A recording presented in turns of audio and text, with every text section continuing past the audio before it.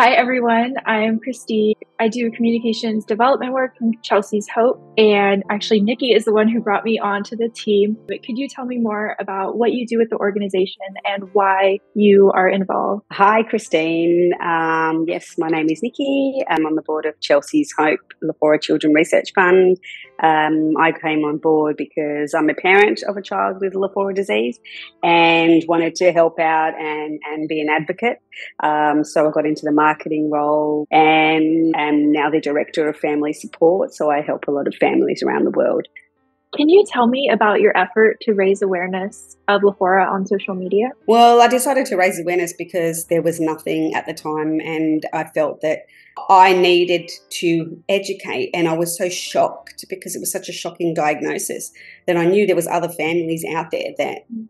Had the same feeling and the desperation and of understanding. You know, you, you get a, a, pretty, it's a terminal diagnosis. So I know we haven't exactly explained what Lafora disease is, but Lafora disease is a terminal neurological degenerative disease um, that that comes on in adolescence um, with symptoms of seizures and then cognitive decline, so it's like childhood dementia, um, until they slowly, slowly stop being able to walk and talk until they pass away and that that can take about 10 years. It depends. Some some go in a few years once the symptoms start. So it can be a very rapid decline and sometimes it can be a bit slower depending on the genetic mutation of this disease. So it is um, autosomal. It is genetic.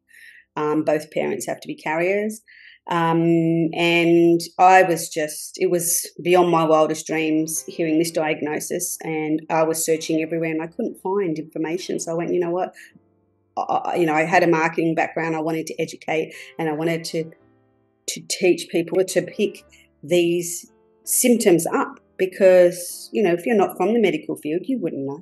You wouldn't know there's yeah. a neurological issue, even though she didn't have any neurological issues before. It's only once the seizure started because it mimics juvenile myoclonic epilepsy. So you get misdiagnosed initially until um, things get, get, keep getting worse. So I opened up a social media page called Lafora Initiative, found other families around the world that way, and we all connected um, and got in touch with the Chelsea's Hope Lafora uh, Research Fund and um, joined it, got on the board and said, I want to help. That was my aim. You know, I, um, I can't just sit here and watch my child. We need to find therapies, get into clinical trials, um, know the best medications that help um, because it's hard to watch your child suffer. It is it's really hard, and um, I, I, just was desperate. I needed to needed to help. Um, my daughter is still unwell. Um, not sure if you're following her on social media, but um, her TikTok did blow up by her having her first tattoo. I know a lot of rare diseases. This is the case. So many people don't even know it exists. Um, and so now you've got a much larger audience because of this TikTok. Yep. Can you tell tell me more about why you made it and yeah, what they TikTok was small in the beginning and I didn't realize how it went out to such a broader community. Um, and I just thought my family were watching. That's all. That's the only people that were watching. So I didn't really explain the video um, that well. Um, but Ange went and got her first tattoo, and um, she had been begging for a tattoo for like two years. And I'm like, no, no, you got to wait till you're 18 or you got to this and got to that, just trying to like, no, no, no. And then I just went, you know, what the hell, you only live once. You know, she wants a tattoo. It was her birthday. We went, let's go get a tattoo. Um, that week, she had just started having um, a new medication. It was making her nauseous. And so I brought two nurses along with us. And so this is that moment. Why was she reacting not as happy as maybe we would expect? She was in shock. She could not believe it. It finally processed that she was actually getting her tattoo. You know, as much as she knew, because of the dementia, it's like she keeps forgetting she was coming for a tattoo. So it was like, oh my God, I'm finally getting the tattoo I always wanted. You know, that she was begging, begging me for two years.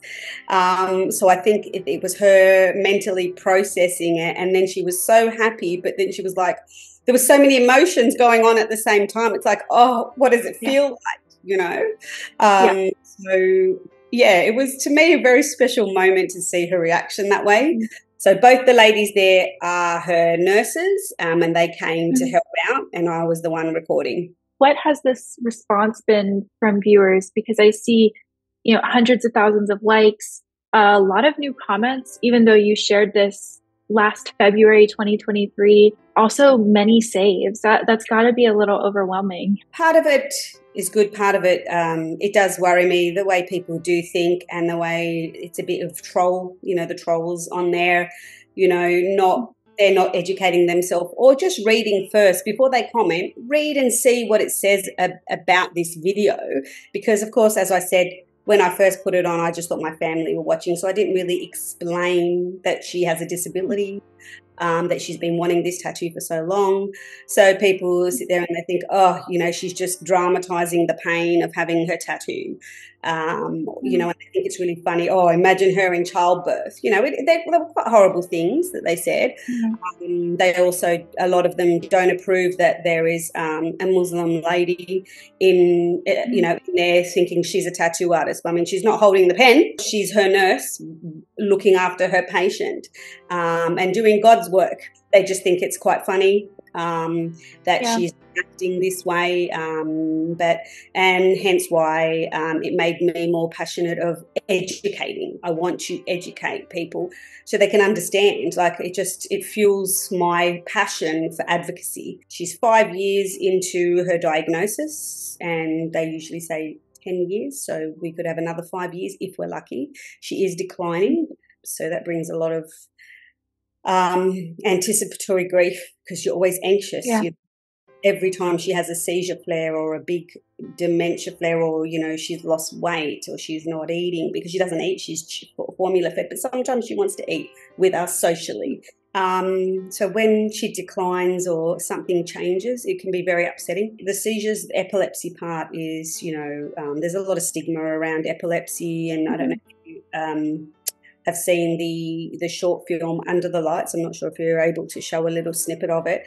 Yeah, it's kid who wanted to go to prom, and you know he's he's epilepsy. He's got photosensitivity, so he can't go where flashing lights are, and and that's exactly how Ange has been. You know, she for two years we booked a Shawn Mendes concert. He came and she couldn't go because of all the flashing lights. couldn't take her to the concert. Yeah. And that broke her heart. It broke her friend's heart. She was going with all her friends. So we had to sell her tickets. Yeah. And it was so upsetting for all of us.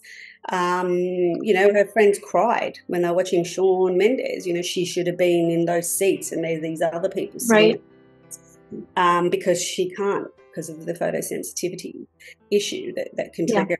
Yeah. And um, this short film shows that so well. So there you go. That's um, Miles Levine. People need to see what people with epilepsy go through. Um, so please go to Under the Lights. Um, seedandspark.com is where he's actually, if you, you can go and make a pledge. We are at the deadline, so please go and have a look.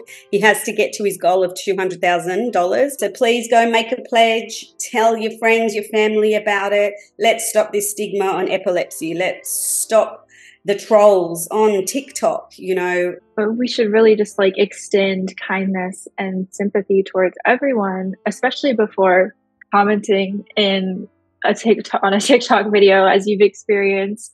Yeah. Um, but what are some other ways that people who you know find your account, learn about Lafora disease, are listening to us right now can help? Can help by advocating they can help mm-hmm. by mm-hmm. even donating. You know, we it costs a lot of money to to start clinical trials to find cures. We want a cure. We want treatments. Um, Ange's on was the first one to start the first treatment for Lafora disease called Val one two two one, an enzyme replacement therapy, um, and it has it's made her very strong. And but of course, it's only slowing down the disease a little bit, but it's it's still not a cure, and that comes with funding awareness, um, being kind, help.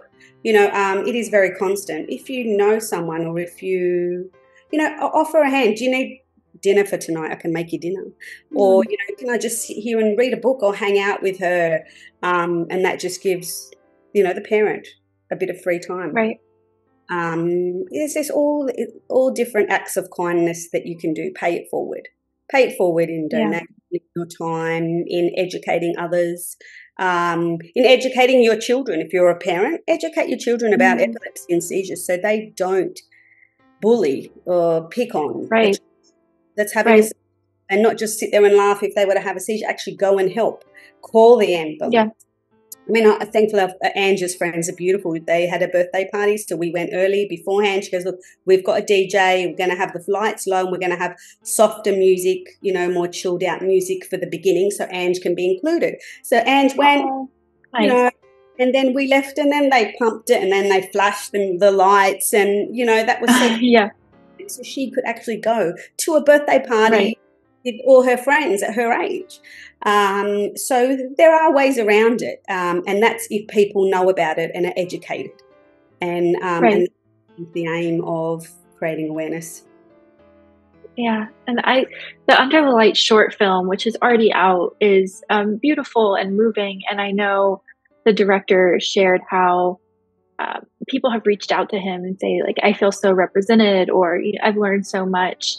And so the full length film would do so much for awareness. I, I agree with you that awareness will lead to better support, better funding, and just yes, uh, more people opening their hearts. It's like it's you've got to see it to believe it. Well, this is right. we need a movie. This is why we need awareness. If people see it, they'll believe it, and things will get easier for everyone. Yeah, the other documentary that has helped is Fighting the Rare by a Spanish researcher who studies Lafora disease. Him and his brother, who is a video producer, interviewed myself and another family and um, a lot of the researchers and doctors um, that specialize in Lafora disease. And that's a really um, interesting way of understanding the challenges we're all having with finding treatments and cures. Um, because in the lab, there's been a lot of breakthroughs, but it's trying to get those breakthroughs into humans to to find cures and, and, and to slow down and stop children suffering. So there's yeah, there's a lot happening. Um, please look out for them. Please yeah. watch them so you can be aware and educated. And if you are able to help in any way, please, if it's telling someone, tell three people today.